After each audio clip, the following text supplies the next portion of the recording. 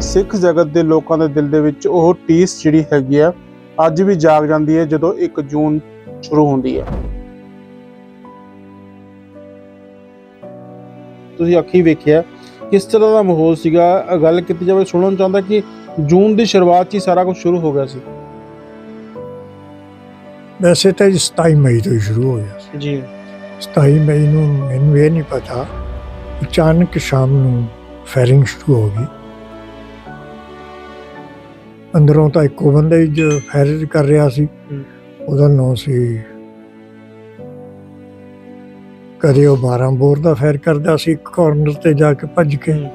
ਕਦੇ ਦੂਜੇ ਕਾਰਨਰ ਤੇ ਜਾ ਕੇ ਉਹ 303 ਦਾ ਜੀ। ਇਕੱਲਾ ਹੀ ਬੰਦਾ ਭੱਜਿਆ ਫਿਰਦਾ ਸੀਗਾ। ਉਹਨਾਂ ਮੇਰੇ ਹੁੰਦੇ ਟੈਲੀਫੋਨ ਕੀਤਾ। ਉਹਦੀ ਗੱਲ ਹੋਈ ਭਾਈ ਅਮਰੀਕ ਸਿੰਘ ਨਾਲ। ਜੀ। ਸੰਤਾਂ ਨਾਲ ਨਹੀਂ ਹੋਈ। ਜੀ। ਭਾਈ ਅਮਰੀਕ ਸਿੰਘ ਨਾਲ ਹੋਈ। ਉਹਨੇ ਦੱਸਿਆ ਵੀ ਆ ਹੈ ਦੱਸੋ ਸਾਡੇ ਵਾਸਤੇ ਕੀ ਹੁਕਮ ਹੈ। ਤੁਸੀਂ ਕਿਹਾ ਕਿ ਸਰਹੰਦ ਰੋਡ ਤੋਂ ਤਿੰਨ ਲਾਸ਼ਾਂ ਮਿਲੀਆਂ ਸੀ। ਇਹ ਸਰਹੰਦ ਰੋਡ ਦੁਖਨਵਾਰਨ ਸਾਹਿਬ ਦੀ ਸਰਾਂ ਦੇ ਬਿਲਕੁਲ ਨਾਲ ਵਾਲਾ ਬਸ ਬਿਲਕੁਲ ਜੀ ਬੈਕ ਸਾਈਡ ਤੇ ਸਰਾਂ ਦੇ ਉਧਰ ਤਾਕੀਆਂ ਖੁੱਲਦੀਆਂ ਸੀ। ਸਰਾਂ ਉਹਨਾਂ ਨਾਲ ਗੁਰਦੁਆਰੇ ਦਾ ਕੋਈ ਸੰਬੰਧ ਨਹੀਂ ਹੈ। ਜੀ। ਇਹ ਕਿਸੇ ਨੇ ਬਾਹਰੋਂ ਲਿਆ ਕੇ ਸੁੱਟੀਆਂ ਨੇ। ਜੀ। ਤੇ ਲੋਕਾਂ ਇਸ ਭੁਲੇਖੇ ਚ ਨਾ ਰਹਿਣ।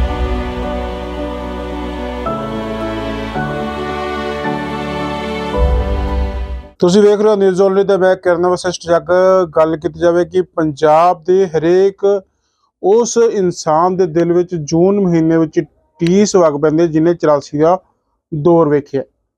84 ਬੀਤੇ ਨੂੰ 39 ਸਾਲ ਹੋ ਗਏ ਨੇ, ਲੇਕਿਨ ਹਰੇਕ ਸਾਲ ਸਿੱਖ ਜਗਤ ਦੇ ਲੋਕਾਂ ਦੇ ਦਿਲ ਦੇ ਵਿੱਚ ਉਹ ਟੀਸ ਜਿਹੜੀ ਹੈਗੀ ਆ, ਅੱਜ ਵੀ ਜਾਗ ਜਾਂਦੀ ਹੈ ਜਦੋਂ 1 ਜੂਨ ਸ਼ੁਰੂ ਹੁੰਦੀ ਹੈ। ਜੂਨ ਦੇ ਮਹੀਨੇ ਦੀ ਸ਼ੁਰੂਆਤ ਦੇ ਵਿੱਚ ਹੀ ਇਹੀ ਜਿਹਾ ਪਾਣਾ ਵਾਪਰਿਆ, ਜਿਸ ਤੋਂ ਬਾਅਦ ਸਿੱਖ ਜਗਤ ਇਸ ਮਹੀਨੇ ਨੂੰ ਯਾਦ ਕਰਕੇ ਆਪਣੇ ਅਥਰੂ ਤੱਕ ਵਹਾਉਣ ਲੱਗ ਜਾਂਦੇ ਨੇ। ਗੱਲ ਕੀਤੀ ਜਾਵੇ ਕਿ ਪੂਰੇ ਪੰਜਾਬ ਦੇ ਵਿੱਚ ਇੱਕ ਐਸਾ ਮਾਹੌਲ ਬਣ ਗਿਆ ਸੀ, ਜਿਸ ਮਾਹੌਲ ਦੇ ਵਿੱਚੋਂ ਲੋਕ ਹਾਲੇ ਵੀ ਅੱਛੇ ਤਰੀਕੇ ਨਾਲ ਬਾਹਰ ਨਹੀਂ ਨਿਕਲ ਪਏ।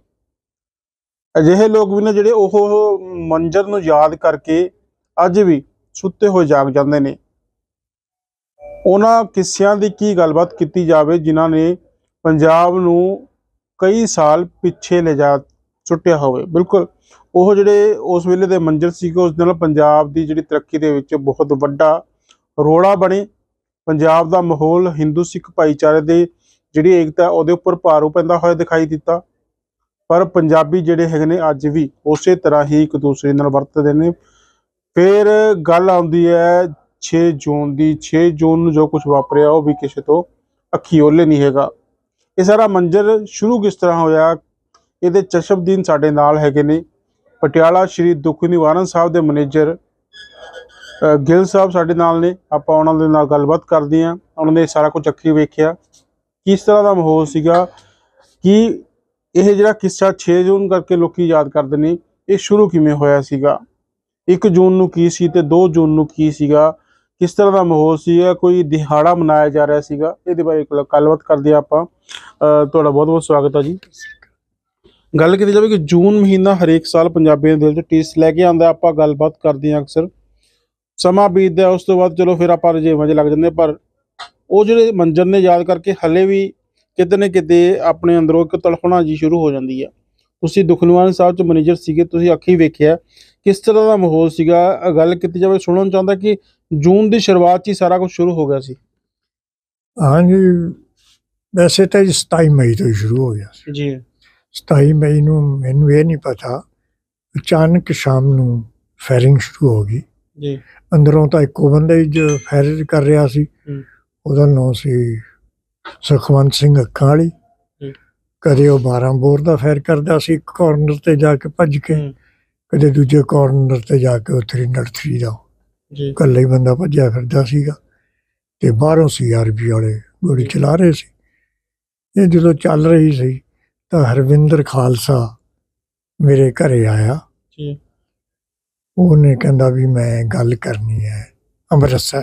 ਜੀ। ਉਹਨਾਂ ਮੇਰੇ ਹੁੰਦੇ ਟੈਲੀਫੋਨ ਕੀਤਾ।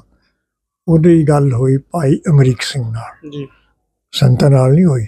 ਜੀ। ਭਾਈ ਅਮਰੀਕ ਸਿੰਘ ਨਾਲ ਹੋਈ। ਉਹਨੇ ਦੱਸਿਆ ਵੀ ਆ ਹੈ ਦੱਸੋ ਸਾਡੇ ਵਾਸਤੇ ਕੀ ਹੁਕਮ ਹੈ। ਜੀ। ਤਾਂ ਉਹ ਕਹਿੰਦੇ ਵੀ ਥੋੜੇ ਚਿਰ ਠਹਿਰ ਕੇ ਮੈਂ ਤੈਨੂੰ ਜਵਾਬ ਦਿੰਦਾ। ਮੇਰੇ ਹੁੰਦੇ ਹੀ ਬੈਠੇ ਮੈਂ ਬੈਠਾ ਯਾਨੀ ਕਿ ਸੀ। ਲਗਾਤਾਰ ਸੰਪਰਕ 'ਚ ਜ਼ਰੂਰ ਸੀਗੇ। ਤਾਂ ਥੋੜੇ ਚਿਰ ਬਾਅਦ ਭਾਈ ਅਮਰੀਕ ਸਿੰਘ ਉਹਨਾਂ ਦਾ ਟੈਲੀਫੋਨ ਆਇਆ ਜੀ। ਵੀ ਸੰਤਾਂ ਦਾ ਹੁਕਮ ਹੈ ਤੁਸੀਂ ਫੈਰ ਨਹੀਂ ਕਰਨਾ ਜੀ। ਕੁਛ ਨਹੀਂ ਕਰਨਾ ਜੇ ਮਿ- ਅੰਦਰ ਵੜਦੇ ਨੇ ਜੀ। ਫਿਰ ਜਾਨ ਦੀ ਪਰਵਾਹ ਵੀ ਨਹੀਂ ਕਰਨੀ। ਜੀ। ਜੇ ਮਿਲਟਰੀ ਨਾ ਮਿਲਟਰੀ ਨਹੀਂ ਸੀਆਰਪੀ ਅੰਦਰ ਵੜਦੀ ਹੈ ਫਿਰ ਜਾਨ ਦੀ ਪਰਵਾਹ ਨਹੀਂ ਕਰਨੀ ਫਿਰ ਜੋ ਮਰਜ਼ੀ ਕਰਿਓ। ਜੀ। ਲੇਕਿਨ ਹੁਣ ਕੁਛ ਨਹੀਂ ਕਰਨਾ ਤੁਸੀਂ। ਯਾਨੀ ਕਿ 27 ਮਈ ਨੂੰ ਫਾਇਰਿੰਗ ਸ਼ੁਰੂ ਹੋ ਚੁੱਕੀ ਸੀਗੀ। ਉਹਦੇ ਪਹਿਲੀ ਵਾਰ ਉੱਤੇ ਹੋਈ। ਫਿਰ ਉਦੋਂ ਬਾਅਦ ਕੁਛ ਨਹੀਂ ਹੋਇਆ ਜੀ। ਜੀ। ਫਿਰ ਜਿੱਦੇ ਕਰਫਿਊ ਲੱਗਦਾ ਹੈ ਉਹ ਲੱਗਦਾ ਹੈ ਸ਼ਾਮ ਨੂੰ। ਜੀ। ਸਵੇਰ ਤਿੰਨ ਡੈੱਡ ਬੋਡੀਆਂ ਸਰਹੰਦ ਰੋਡ ਤੋਂ ਮਿਲਦੀਆਂ ਨੇ। ਜੀ। ਕਿਹਾ ਜਾਂਦਾ ਵੀ ਅੰਦਰੋਂ ਸੁੱਟੀਆਂ ਕਿ ਕੋਈ ਟਾਲੀ ਦੇ ਪੱਤੇ ਟੁੱਟੇ ਡਾਣੀਆਂ ਟੁੱਟੀਆਂ ਸੀ। ਜੀ। ਲੈਂਡ ਲਾਈਨ ਉਦੋਂ ਟੈਲੀਫੋਨ ਤਾਰਾਂ ਟੁੱਟ ਕੇ ਥੱਲੇ ਆਈਆਂ ਵੀ ਸੀ ਕੋਈ 6 ਵਜੇ ਮੈਨੂੰ ਕਿਸੇ ਨੇ ਕਿਹਾ ਵੀ ਉਹ ਡੈੱਡ ਬੋਡੀਆਂ ਪਈਆਂ ਉੱਥੇ। ਜੀ। ਮੈਂ ਹੈੱਡ ਗ੍ਰੰਥੀ ਗੁਰਮੀਤ ਸਿੰਘ।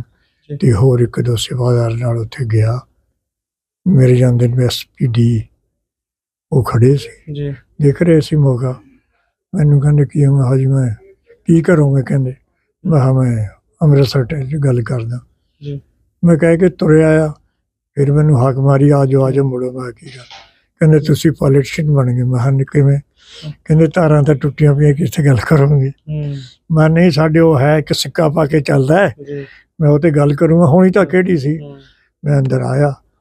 ਇਹਨੇ ਹਵਾ ਸ਼ਹਿਰ ਚ ਪੈ ਗਈ। ਸਰਦਾਰ ਰਾਜ ਸਿੰਘ ਕੋਹਲੀ ਅਮਰ ਸਿੰਘ ਨਲੀ ਜੀ ਹੋਰ ਕਈ ਜਥੇਦਾਰ ਆਏ। ਬਿਆਨ ਦਿਓ ਜੀ ਮੈਂ ਤੁਸੀਂ ਬਿਆਨ ਦਿਓ। ਹੂੰ। ਇਹ ਜੀ ਕਹਿ ਕੂ ਕੇ ਬਿਆਨ ਬੂਨ ਕਿਸੇ ਨੇ ਦਿੱਤਾ ਸਭ ਵਾਪਸ ਚਲੇ ਗਏ। ਇਹਨੂੰ ਅੱਗੇ ਤੋਰਦੇ ਹਾਂ ਗੱਲ ਨੂੰ।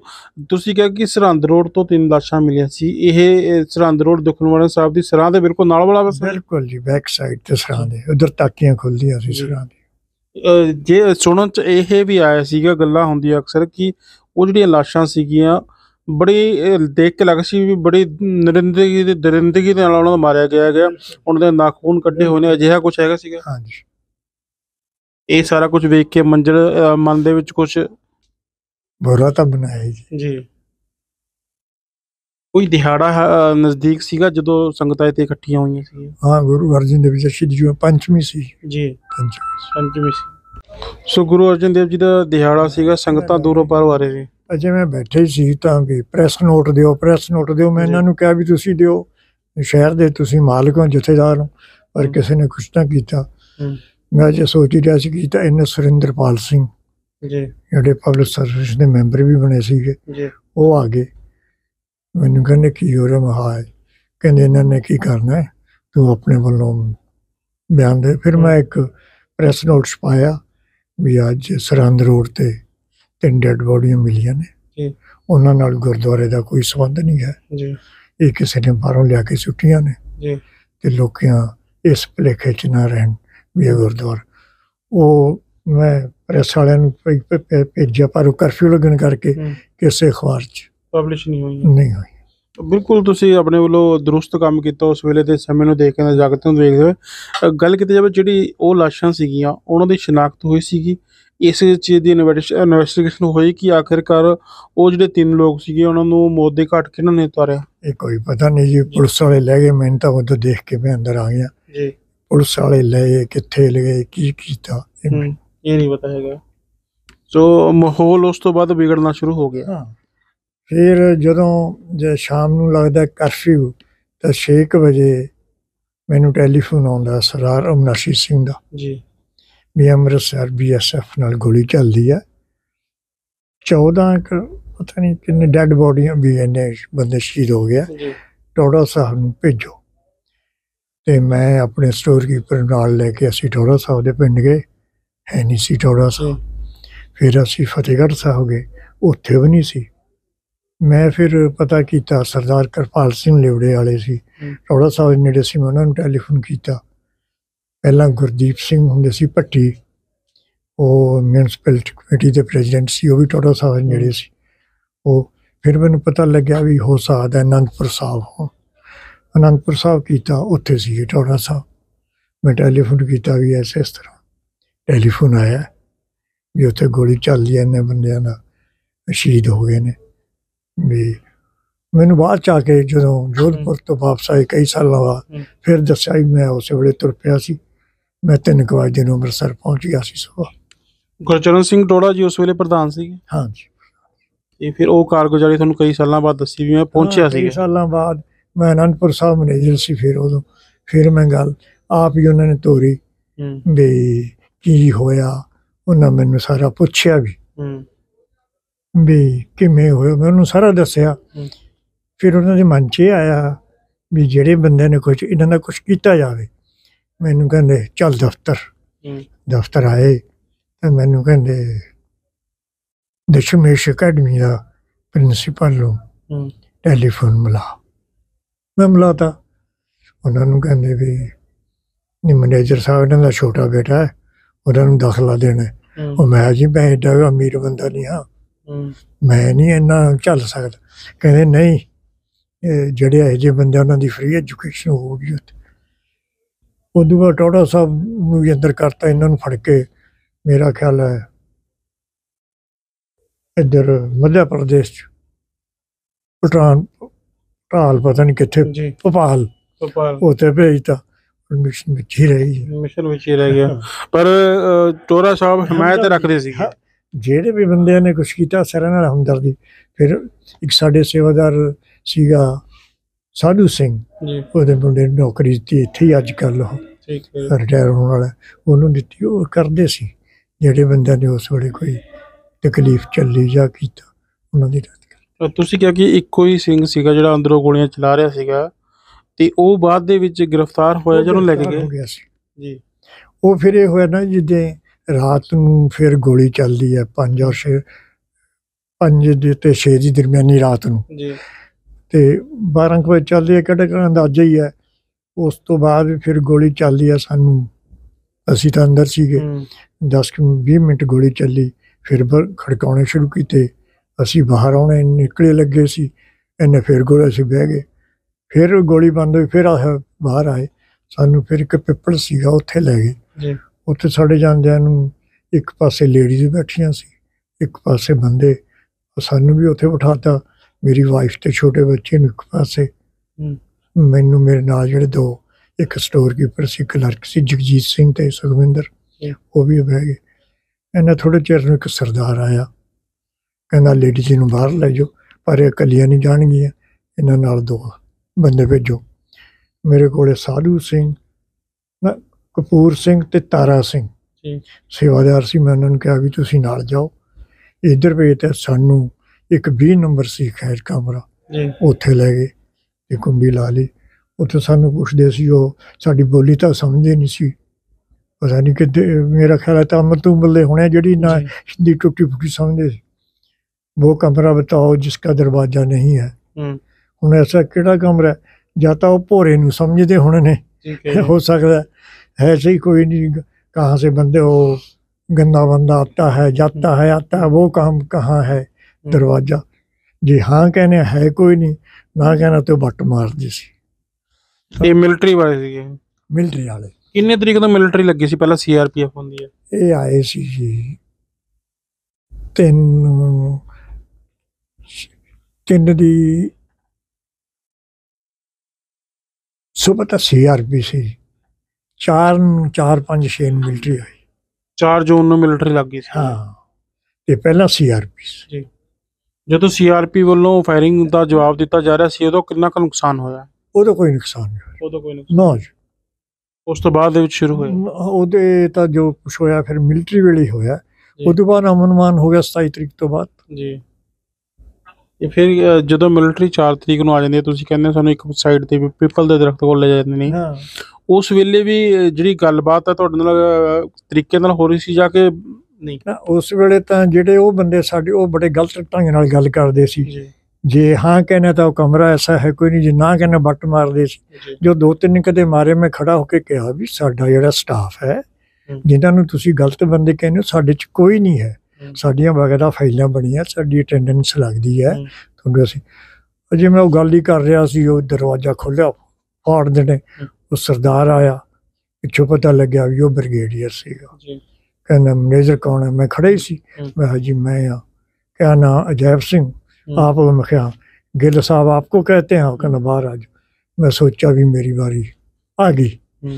ਤੇ ਬਾਹਰ ਲਿਆ ਕੇ ਮੈਨੂੰ ਕਹਿੰਦਾ ਵੀ ਕਿੱਥੇ ਨੇ ਬੰਦੇ ਹੋ ਮੈਂ ਹਾਜੀ ਨਿਕਲ ਗਏ ਹੋਣੇ ਨੇ। ਹੂੰ। ਕਹਿੰਦਾ ਉੱਪਰ ਦੇਖੋ ਨਿਕਲ ਜਾਣਗੇ ਮੱਖੀ ਨਹੀਂ ਨਿਕਲ ਸਕਦੀ।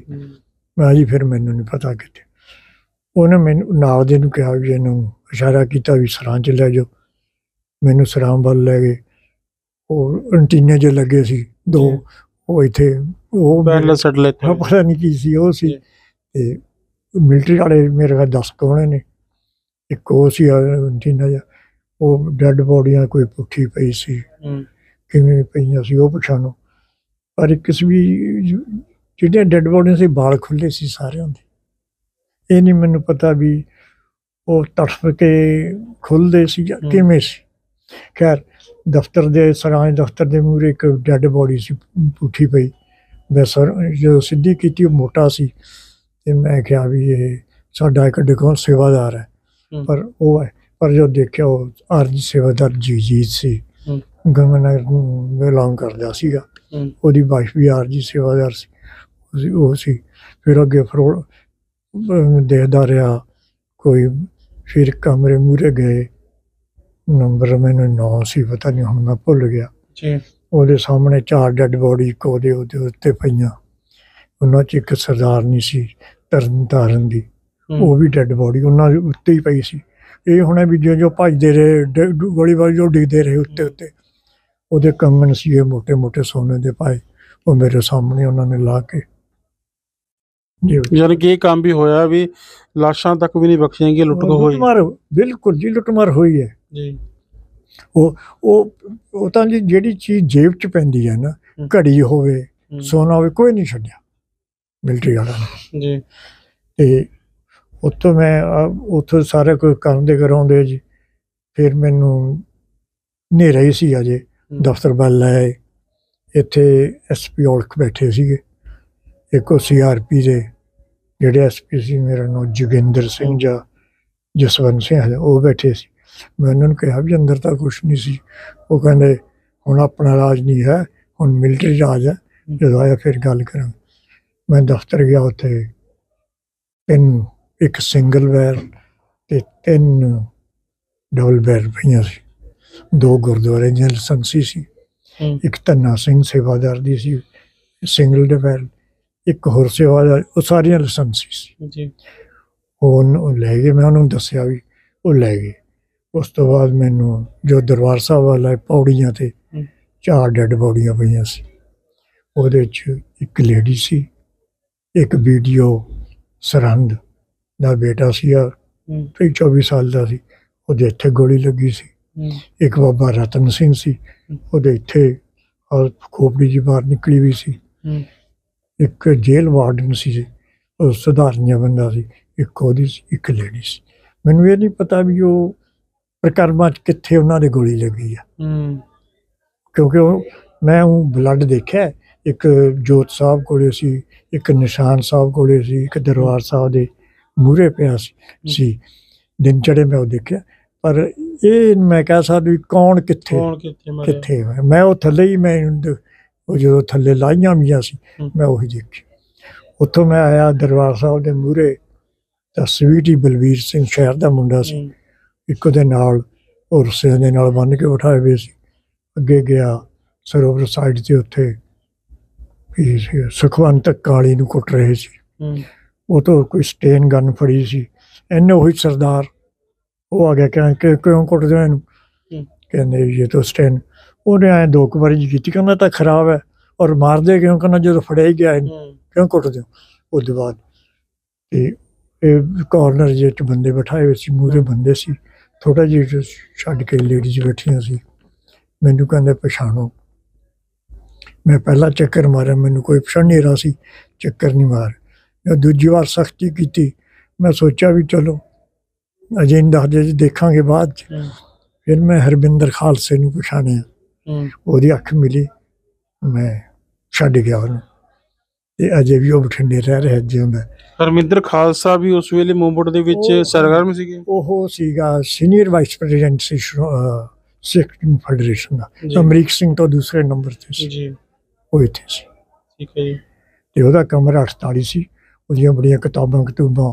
ਮੇਰਾ ਖਿਆਲ ਹੈ ਪੰਡਿਤ ਜੀ ਬੰਨੀ ਪਈ ਸੀ ਉਹ। ਮੇਰੇ ਹੁੰਦੀ ਉਹ ਲੈ ਗਏ ਸੀ ਚੱਕ ਕੇ ਪੁਲਿਸ। ਸੁਖਵੰਤ ਸਿੰਘ ਅਕਾਲੀ ਨੂੰ ਤੁਸੀਂ ਕਹਿੰਦੇ ਕੁੱਟ ਰਹੇ ਸੀਗੇ। ਹਾਂ। ਤੇ ਉਹ ਕਿਹੜੀ ਤਰੀਕ ਨੂੰ ਗ੍ਰਿਫਤਾਰੀ ਹੋਈ ਹੈ? 6 ਤੋਂ ਬਾਅਦ ਹੋਈ ਹੈ? ਹਾਂ ਸਵੇਰ ਹੀ ਠੀਕ ਹੈ ਜੀ। ਜਦੋਂ ਰਾਤ ਨੂੰ ਉਹ ਹੋਈ ਨਾ ਗੋਲੀ ਚੱਲੀ ਉਸੇ ਬਾਅਦ ਤੇ ਮੈਨੂੰ ਲੈ ਗਏ ਪਛਾਣਦਾ ਪਛੂਣਦਿਆਂ ਨੂੰ ਹਨੇਰਾ ਹੋ ਗਿਆ। ਇੱਧਰ ਲਿਆਏ ਇੱਧਰ ਵਿੱਚ ਹਨੇਰੇ ਸੀ ਜੋ ਪਰਿਕਰਮਾ ਚ ਲਿਆਏ। ਇੱਕੋ ਹੀ ਲਾਈਟ ਜੀ ਵਗਦੀ ਸੀ ਜਿਹੜੀ ਹੌਟਲਾਈਨ ਸੀ। ਜੀ। ਬਾਕੀ ਤਾਂ ਬਲੈਕ ਆਊਟ ਸੀ। ਉਹ ਜਿਹੜੀ ਹੌਟਲਾਈਨ ਸੀ ਉਹਦੀ ਇੱਕ ਬੱਤੀ ਜੀ ਜਗਦੀ ਸੀ। ਉਹਦੇ ਸੀ ਇਹ ਜਿਹੜੇ ਕਿੱਸੇ ਹੈਗੇ ਨੇ ਸੁਣਦੇ ਹਾਂ ਅਸੀਂ ਆ ਰਹੇ ਹਾਂ ਕਿ- ਕਿਉਂਕਿ ਉਸ ਵੇਲੇ ਅਸੀਂ ਵੀ ਛੋਟੇ ਸੀਗੇ। ਤੇ ਇਹ ਕਿੱਸਿਆਂ ਦੇ ਵਿੱਚ ਅਸੀਂ ਇਹ ਵੀ ਸੁਣਿਆ ਕਿ ਜਦੋਂ ਇਹ ਗੋਲਾਬਾਰੀ ਹੋਈ ਹੈ ਉਸ ਵੇਲੇ ਦਰਬਾਰ ਸਾਹਿਬ ਤੱਕ ਟੈਂਕ ਵੀ ਲਿਆਂਦੇ ਗਏ? ਸਿਰਫ ਸਰਹੰਦ ਰੇਟ ਤੇ ਜਿਹੜਾ ਗੇਟ ਦਰਵਾਜ਼ਾ ਸੀ ਨਾ ਉਹ ਤੋੜਿਆ ਉਹਨਾਂ ਨੇ। ਉਹਦੀ ਟੱਕਰ ਮਾਰ ਕੇ ਕੋਈ ਟੈਂਕ ਨਹੀਂ ਸੀ। ਉਹ ਵੀ ਉੱਥੇ ਹੀ ਖੜਾ ਸੀ। ਉਹ ਟੈਂਕ ਨਹੀਂ ਸੀ। ਜਦੋਂ ਮੈਂ ਦਿਨ ਚੜੇ ਮਹਾਰਾਜਾ ਪਟਿਆਲਾ ਅਮਰਿੰਦਰ ਸਿੰਘ ਐਮਪੀ ਹੁੰਦੇ ਸੀ ਜੀ। ਇਹ ਉੱਥੇ ਆਏ ਸੀ ਮੌਕਾ ਵੇਖਣ। ਇਹ ਕਹਿ ਰਹੇ ਸੀ ਵੀ ਇਹ ਟੈਂਕ ਨਹੀਂ ਹੈ। ਏਪੀਸੀ ਪਤਾ ਨਹੀਂ ਕੀ ਹੈ ਜਾਂ ਕੋਈ ਕਹਿ ਰਹੇ ਸੀ ਵੀ। ਉਹ ਹੈ। ਠੀਕ ਹੈ। ਇਹ ਬਹੁਤ ਲਾਈਟ ਹੁੰਦਾ ਟੈਂਕ ਇਹਦੇ ਬਹੁਤ ਭਾਰੇ ਹੁੰਦੇ ਨੇ। ਉਹ ਮੌਕਾ ਵੇਖਣ ਆਏ ਸੀ। ਮੈਂ ਉਹਨਾਂ ਨੂੰ ਉੱਥੇ ਹੀ ਦੇਖਿਆ। ਉਸ ਤੋਂ ਬਾਅਦ ਮੈਨੂੰ ਨਹੀਂ ਪਤਾ ਵੀ ਉਹ ਅੰਦਰ ਗਏ ਕਿ ਨਹੀਂ ਗਏ। ਤੁਹਾਡੇ ਨਾਲ ਕੋਈ ਗੱਲਬਾਤ ਨਹੀਂ ਹੋਈ ਉਹਨਾਂ ਦੀ? ਨਾ ਮੇਰੀ ਅਮਰਿੰਦਰ ਸਿੰਘ ਕੋਈ ਗੱਲ ਜਦੋਂ ਇਹ ਸਾਰਾ ਕੁਝ ਮੰਚਰ ਤੁਸੀਂ ਵੇਖਿਆ ਹੈਗਾ ਕੱਲ ਕਹਿਣ ਨੂੰ ਬੜੀ ਝੰਜੋੜਨ ਵਾਲੀ ਹੈ ਮੈਂ ਜ਼ਰੂਰ ਪੁੱਛੂੰਗਾ ਕਿੰਨੇ ਕੁ ਲੋਕ ਸੀਗੇ ਜਿਹੜੇ ਉਸ ਅਕਾਲ ਪੁਰਖ ਤੋਂ ਪਿਆਰੇ ਹੋਏ? 17 ਬੰਦੇ ਸੀ। 17 ਬੰਦੇ ਇੱਥੇ ਦੁਖਨਿਵਾਰਨ ਸਾਹਿਬ ਸੀ 14 ਬੰਦੇ ਸੀ। ਤਿੰਨ ਲੇਡੀਜ਼ ਤੇ 14 ਬੰਦੇ। ਉਹਨਾਂ ਦੀ ਮੈਂ ਬਾਕਾਇਦਾ ਫੋਟੋ ਕਰਾਈਆਂ। ਜੀ। ਬਾਕਾਇਦਾ ਸੰਸਕਾਰ ਕੀਤਾ ਬਡੂੰਗਰ ਚ। ਜੀ। ਤੇ ਉਸ ਗੋਲਾਬਾਰੀ ਦੇ ਵਿੱਚ ਜਿਹੜੀ ਆਪਣਾ ਦੁਖਨਿਵਾਰਨ ਸਾਹਿਬ ਦੀ ਇਮਾਰਤ ਹੈਗੀ ਹੈ ਉਹ ਕਿੰਨੇ ਕੁ ਨੁਕਸਾਨੀ ਗਈ ਸੀ ਇੱਕ ਤਾਂ ਨਿਸ਼ਾਨ ਸਾਹਿਬ ਦੇ ਕੋਲੇ ਪੱਥਰ ਜਿਹਾ ਥੋੜਾ ਜਿਹਾ ਉਖੜਿਆ ਪਿਆ ਸੀ। ਇਹ ਕਿਹਾ ਜਾਂਦਾ ਵੀ ਬਾਬਾ ਰਤਨ ਸਿੰਘ ਨੇ ਉੱਥੇ ਬੈਠ ਕੇ ਫਾਇਰ ਕੀਤਾ ਉਹਦੇ ਕੋਲੇ 12 ਬੋਰ ਬੰਦੂਕ ਸੀ ਜਿਹਦੇ ਪਿਛਲੇ ਪਾਸੇ ਗੋਲੀ ਲੱਗੀ ਕਿਹਾ ਜਾਂਦਾ ਮੈਨੂੰ ਨਹੀਂ ਪਤਾ ਵੀ ਉਹ ਉੱਥੇ ਸੀਗਾ। ਇੱਕ ਸੀ ਜਦੋਂ ਆਪਾਂ ਸਰੋਵਰ ਤੋਂ ਉਤਰਦੇ ਆ ਨਾ ਸਰੋਵਰ ਵੱਲ ਦਰਬਾਰ। ਸਾਹਿਬ ਪਰਿਕਰਮਾ ਚੋਂ ਸਾਹਮਣੇ ਇੱਕ ਨਿਸ਼ਾਨ ਸੀ। ਉਹ ਵੀ ਹੁਣ ਅੱਜ ਕੱਲ ਹੈ ਨਹੀਂ। ਜੀ। ਭਲਾ ਇੱਕ ਬਿਲਕੁਲ ਸਾਹਮਣੇ ਬਰਾਂਡੇ ਸੀ ਉਹ ਵੀ ਅੱਜ ਕੱਲ ਮੁੜਿਆ। ਕੋਈ ਇਸ ਵੇਲੇ ਕੋਈ ਨਿਸ਼ਾਨੀ ਨਹੀਂ ਹੈ ਜੀ। ਵੀ ਇੱਥੇ ਕੋਈ ਬਲੂ ਸਟਾਰ ਦੀ ਕੋਈ ਨਿਸ਼ਾਨੀ ਕੋਈ ਫੈਰ ਜਾਂ ਗੋਲੀ ਲੱਗਿਆ ਕੋਈ ਨਿਸ਼ਾਨ। ਸਭ ਚੇਂਜ ਕਰਤਾ। ਸਭ ਚੇਂਜ ਨਾ ਉਹ ਇਮਾਰਤ ਹੈ। ਜੀ। ਨਾ ਉਹ ਦਫ਼ਤਰ ਹੈ ਜੀ। ਨਾ ਉਹ ਕੁਆਟਰ ਨੇ। ਹੁਣ ਵਾਲਿਆਂ ਨੂੰ ਤਾਂ ਦੱਸੋ ਕਹਿੰਦੇ ਵੀ ਇਹ ਤਾਂ ਅਜੀਬੋ ਗਰੀਬ ਹੈ ਨਾ। ਕੋਈ ਪਿੱਪਲ ਹੈ ਨਾ ਪੌੜੀਆਂ ਨੇ ਕੁਛ ਹੂੰ। ਨਹੀਂ ਸਭ ਕੁਝ ਉਹ ਜਿਹਦੇ ਜੋਤ ਸਾਹਿਬ ਕੋਲ ਇੱਕ ਦਰਖਤ ਹੁੰਦਾ ਸੀਗਾ ਉਹਦੀ ਵੀ ਬੜੀ ਮਾਨਤਾ ਸੀ। ਬੜੀ ਉੱਥੇ ਵੀ ਮੈਂ ਤੁਹਾਨੂੰ ਕਿਹਾ ਵੀ ਲਹੂ ਪਿਆ ਸੀਗਾ। ਜੀ। ਪਰ ਮੈਨੂੰ ਨਹੀਂ ਪਤਾ ਵੀ ਕਿਹੜੇ ਸਿੰਘ ਦਾ ਸੀ। ਜੀ। ਕਿਉਂਕਿ ਉਸ ਵੇਲੇ ਤਾਂ ਉਹ ਇੱਕ ਉੱਥੇ ਪਿਆ ਸੀ ਇੱਕ ਦਰਬਾਰ ਸਾਹਿਬ ਮੂਰੇ ਸੀ ਇੱਕ ਨਿਸ਼ਾਨ ਸਾਹਿਬ ਕੋਲੇ। ਇਹ ਕਿੱਸਾ ਤੁਸੀਂ ਸਾਨੂੰ ਸਾਰਾ ਦੱਸ ਰਹੇ ਹੋ ਤੁਹਾਨੂੰ ਚੇਤੇ ਵੀ ਹੈਗਾ। ਪਰ ਜਦੋਂ ਕਈ ਵਾਰੀ ਘਰੇ ਹੁੰਦੇ ਹੋ ਰਾਤ ਵੇਲੇ ਸੁੱਤੇ ਹੁੰਦੇ ਹੋ ਉਹਨਾਂ ਦਿਨਾਂ 'ਚ ਯਾਦ ਆਉਂਦੀ ਹੈ ਤਾਂ ਕਿਸ ਤਰ੍ਹਾਂ ਦਾ ਮਹਿਸੂਸ ਹੁੰਦਾ? ਮਾੜੇ ਦਿਨ ਯਾਦ ਕਰਕੇ ਦੀ ਹੋਰ ਕੀ ਹੈ। ਜੀ। ਫਿਰ ਤੋਂ ਬਾਅਦ ਬਹੁਤ ਚਿਰ ਭੁਗਤਿਆ ਵੀ। ਕਿਸ ਤਰ੍ਹਾਂ ਭੁਗਤਿਆ? ਦਰਸ਼ਕਾਂ ਨੂੰ ਮਾੜਾ ਜਿਹਾ ਦੱਸੋ ਭੁਗਤਿਆ ਵੀ ਲੋਕੀ 4 ਵਜੇ ਬੱਸਾਂ ਬੰਦ ਹੋ ਜਾਂਦੀਆਂ ਸੀ। ਜੀ। ਲੋਕੀ ਅੰਦਰ ਪੈਂਦੇ ਸੀ ਵਿਹੜਿਆਂ 'ਚ ਪੈਣੋਂ ਹੀ ਹਟ ਗਏ ਸੀ। ਸਭ ਇਹੋ ਜਿਹੀ ਹਾਲਤ ਆਪਣੇ ਘਰਾਂ ਦੇ ਵਿੱਚ ਹੀ ਕੈਦੀ ਬਣ ਗਏ। ਹਾਂ ਹਾਂ ਬਿਲਕੁਲ ਕਿਉਂਕਿ ਰਾਤ ਨੂੰ ਡਰ ਲੱਗਦਾ ਸੀ ਵੀ ਕੁਝ ਹੋ ਨਾ ਜਾਵੇ। ਉੱਪਰੇ ਬੰਦੇ ਨੇ ਵੀ ਪੁੱਛਣਾ ਵੀ ਘਰ ਪੁੱਛਣਾ ਉਹ ਡਰ ਲੱਗਣਾ ਵੀ ਹੂੰ। ਕੀ ਹੈ। ਇਸ ਤੋਂ ਇਹ ਇਸ ਤੋਂ ਇੱਕ ਚੀਜ਼ ਹੋਰ ਵੀ ਹੋਈ ਸੀਗੀ ਜਿਹੜੇ ਸਾਡੇ ਹਿੰਦੂ ਬਰਾਦਰੀ ਦੇ ਲੋਕ ਹੈਗੇ ਨੇ ਉਹ ਵੀ ਗੁਰੂ ਘਰਾਂ ਚ ਆਉਣ ਤੋਂ ਥੋੜਾ ਜਿਹਾ ਘਬਰਾਉਣ ਲੱਗ ਗਏ ਸੀ। ਦੇਖੋ ਮੈਂ ਇਸ ਗੱਲ ਦੇ ਤੁਹਾਨੂੰ ਮੈਂ ਇੱਕ ਸਟੋਰੀ ਸੁਣਾ ਦਿੰਦਾ। ਜੀ। ਜਦੋਂ ਬਲਿਸਟਰ ਹੋਇਆ ਤਾਂ ਥੋੜਾ ਜਿਹਾ ਸਾਨੂੰ ਕ੍ਰਾਈਸਿਸ ਆਇਆ ਚਾਹ ਪੱਤੀ ਤੇ ਖੰਡ ਤੋਂ। ਜੀ। ਮੈਂ ਇੱਕ ਸਰਦਾਰ ਸੀ ਜਿੱਥੋਂ ਸਾਨੂੰ ਸਮਾਨ ਆਉਂਦਾ ਸੀ। ਹੂੰ। ਮੈਨੂੰ ਟੈਲੀਫੋਨ ਕੀਤਾ ਵੀ 20 ਕਿਲੋ ਚੀਨੀ ਨਾ। ਚਾਹ ਪੱਤੀ ਤੇ ਦੋ ਬੋਰੀ ਖੰਡ ਭੇਜ ਦਿਓ। ਜੀ। ਵੀ ਪੈਸੇ ਤੁਹਾਨੂੰ ਠਹਿਰ ਕੇ ਆਉਣਗੇ। ਤਾਂ ਉਹ ਕਹਿਣ ਲੱਗਿਆ ਵੀ ਨਹੀਂ ਜੀ ਪਹਿਲਾਂ ਪੈਸੇ ਆਉਣ। ਹੂੰ। ਮੇਰੇ ਮਨ ਨੂੰ ਬੜੀ ਸੱਟ ਲੱਗੀ ਕਿਉਂਕਿ ਉਹ ਤਾਂ ਸਮਾਨ ਖਰੀਦਦੇ ਸੀ। ਫਿਰ ਇੱਕ ਗੁੜ ਮੰਡੀ ਸੀਗੇ ਹਿੰਦੂ ਜੈਂਟਲਮੈਨ ਸੀ। ਜੀ। ਉਹਨਾਂ ਤੋਂ ਵੀ ਸਾਨੂੰ ਮਿਰਚਾਂ ਮਿਰਚਾਂ ਜੀ ਅਸੀਂ ਖਰੀਦੇ ਮੈਂ ਉਹਨੂੰ ਟੈਲੀਫੋਨ ਕੀਤਾ। ਮੈਂ ਸੇਠ ਜੀ ਆਹ ਚੀਜ਼ ਚਾਹੀਦੀ ਹੈ। ਵੀ ਪੈਸੇ ਠਹਿਰ ਕੇ। ਉਹ ਮੈਨੂੰ ਕਹਿੰਦਾ ਮੈਨੇਜਰ ਸਾਹਿਬ ਤੁਸੀਂ ਪੈਸਿਆਂ ਦੀ ਕਿਉਂ ਗੱਲ ਕਰਦੇ ਕਿੰਨੀਆਂ ਬੋਰੀਆਂ ਖੰਡ ਭੇਜਾਂ? ਕਿੰਨੀ ਚਾਹ ਪੱਤੀ ਭੇਜਾਂ ਪੈਸੇ ਵਾਲੀ ਗੱਲ ਮੇਰੇ ਨਾਲ। ਮੇਰਾ ਹੌਸਲਾ ਬੜਾ ਵਧਿਆ ਯਾਨੀ ਪੰਜਾਬ ਦੇ ਵਿੱਚ ਜਿਹੜੀ ਲੋਕੀ ਗੱਲਾਂ। ਕਰਦੇ ਹਿੰਦੂ ਸਿੱਖ ਦੇ ਏਕੇ ਵਾਲੀਆਂ ਉਹ ਸਹੀ ਸਾਬਤ ਹੋਈਆਂ ਦੇਖੋ ਸਹੀ ਜੋ ਮੈਨੂੰ ਉਹਨੇ ਹੌਸਲਾ ਦਿੱਤਾ ਜੀ ਮੇਰੀ ਅੱਖਾਂ ਭਰੇ ਉਸ ਬੰਦੇ ਦੀਆਂ। ਉਹ ਕਹਿੰਦਾ ਤੁਸੀਂ ਪੈਸੇ ਦੀ ਕੀ ਗੱਲ ਕਰਦੇ? ਮੈਨੂੰ ਦੱਸੋ ਕੀ ਸਮਾਨ ਚਾਹੀਦਾ ਇੱਕ ਸਰਦਾਰ ਇਹ ਜਵਾਬ ਦਿੰਦਾ ਇੱਕ ਹਿੰਦੂ ਜੈਂਟਲਮੈਨ ਵੀ ਜਵਾਬ ਬਿਲਕੁਲ ਜੀ ਗੁਰੂ ਸਾਹਿਬਾਨ ਨੂੰ ਜਿਨ੍ਹਾਂ ਨੇ ਸਮਝਿਆ ਜਿਨ੍ਹਾਂ ਨੇ ਗੁਰੂ ਨਾਨਕ ਪਾਤਸ਼ਾਹ ਨੂੰ ਉਪਾਸਨਾ ਕੀਤੀ ਹੈ ਉਹ ਕਿਤੇ ਵੀ ਇਨਸਾਨੀਅਤ ਦੀ ਗੱਲ ਹੀ ਕਰੂਗਾ ਹਿੰਦੂ ਸਿੱਖ ਮੁਸਲਿਮ ਦੀ ਗੱਲ ਕਦੀ ਵੀ ਨਹੀਂ ਕਰੂਗਾ। ਸੋ ਸਾਡਾ ਫਰਜ਼ ਵੀ ਬਣਦਾ ਕਿ ਅਸੀਂ ਇੱਕ ਦੂਸਰੇ ਦੇ ਪ੍ਰਤੀ ਇਸੇ ਤਰ੍ਹਾਂ ਦੀ ਨੀਅਤ ਰੱਖੀਏ ਤੇ ਇੱਕ ਦੂਸਰੇ ਦੀ ਮਦਦ ਵਾਸਤੇ ਹਮੇਸ਼ਾ ਹੀ ਖੜੇ ਹੋਈਏ ਨਾ ਵੇਖੀਏ ਕਿ ਉਹ ਮੇਰੀ ਬਰਾਦਰੀ ਦਾ ਸਿਰਫ ਇਹ ਵੇਖੀਏ ਕਿ ਉਹ ਇਨਸਾਨ ਹੈ। ਇਨਸਾਨੀਅਤ ਜੀ। ਜਾਂਦੇ ਹੋਏ ਮੈਨੂੰ ਇਹ ਦੱਸੋ ਤੁਸੀਂ ਕਿ ਜਿਹੜਾ ਇਹ ਸਮਾਂ ਹੈਗਾ ਇਸ ਸਮੇਂ ਨੂੰ ਹਰੇਕ ਸਾਲ ਯਾਦ ਕਰਦਿਆਂ 39 ਸਾਲ ਹੋ ਗਏ ਨੇ। ਤੇ ਪਰਿਵਾਰ ਦੇ ਵਿੱਚ ਗੱਲਾਂ ਹੁੰਦੀਆਂ ਨੇ ਜੀ? ਹਾਂ ਬੱਚਿਆਂ ਨੂੰ ਦੱਸੀਦਾ ਜੀ। ਜੀ। ਵਿਆਹ ਹੋਇਆ ਸੀ। ਉਹ ਜਦੋਂ ਕਹੀਦਾ ਵੀ 4 ਵਜੇ ਬੱਸਾਂ ਬੰਦ ਹੋ ਜਾਂਦੀਆਂ ਲੈ ਲੈ ਕਹਿੰਦੇ ਇਹ ਵੀ ਹੋ ਸਕਦਾ।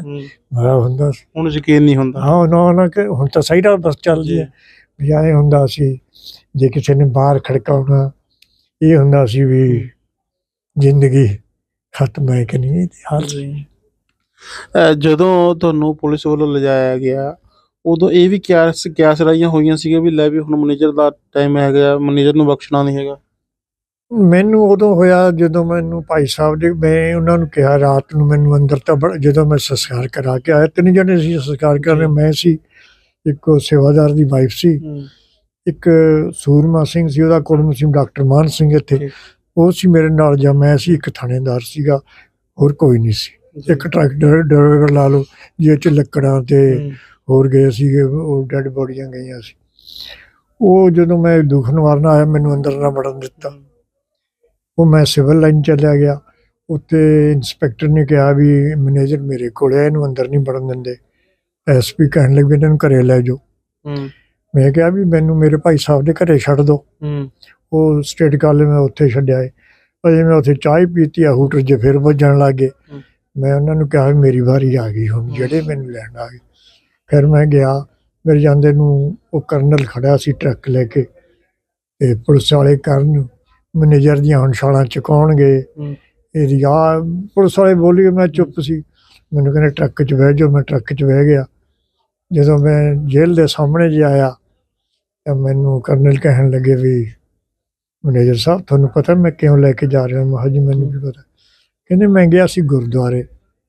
ਉੱਥੇ ਜਨਾਨੀਆਂ ਰੋ ਰਹੀਆਂ ਮੈਂ ਉਹਨਾਂ ਨੂੰ ਕਿਹਾ ਵੀ ਕੋਈ ਗੱਲ ਨਹੀਂ ਜਿਹੜੇ ਕਸੂਰ ਵਾਲੇ ਬੰਦੇ ਅਸੀਂ ਫੜ ਲਏ ਬੇਕਸੂਰਾਂ ਨੂੰ ਅਸੀਂ ਛੱਡ ਦਿਆਂਗੇ। ਕਹਿੰਦੇ ਮੈਂ ਕਿਹਾ ਵੀ ਮੈਨੇਜਰ ਨੂੰ ਮੈਂ ਉਹਨਾਂ ਨੂੰ ਵੀ ਦੱਸ ਦਿਆਂ। ਕਹਿੰਦੇ ਤੁਹਾਡੀ ਵਾਈਫ ਕਹਿੰਦੀ ਵੀ ਉਹ ਤਾਂ ਸਵੇਰ ਦੇ ਗਏ ਆਏ ਹੀ ਨਹੀਂ ਉਹ ਤਾਂ ਪਤਾ ਨਹੀਂ ਕਿੱਥੇ ਮੈਨੂੰ ਤਾਂ ਆਪ ਨਹੀਂ ਪਤਾ। ਕਹਿੰਦੇ ਸਾਨੂੰ ਸ਼ੱਕ ਹੋਇਆ ਵੀ ਤੁਸੀਂ ਭੱਜ ਗਏ ਕਿਤੇ। ਤੇ ਅਸੀਂ ਐਸਪੀ ਨੂੰ ਕਿਹਾ। ਵੀ ਜਦੋਂ ਸਾਡੇ ਕੋਲੇ ਨਹੀਂ ਦੱਸੋ ਕਿੱਥੇ ਹੈ। ਉਹ ਕਹਿੰਦੇ ਵੀ ਸਿਵਲ ਲਾਈਨ 'ਚ ਨੇ। ਉਹ ਮੈਂ ਤਾਂ ਤੁਹਾਨੂੰ ਲਿਆਇਆ ਵੀ ਲੇਡੀ ਜੀ ਨੂੰ ਕਹੋ ਵੀ ਕੋਈ ਗੱਲ ਨਹੀਂ ਸਵੇਰ ਨੂੰ ਅਸੀਂ ਸਾਰੇ ਬੰਦੇ ਛੱਡ ਦਿਆਂਗੇ।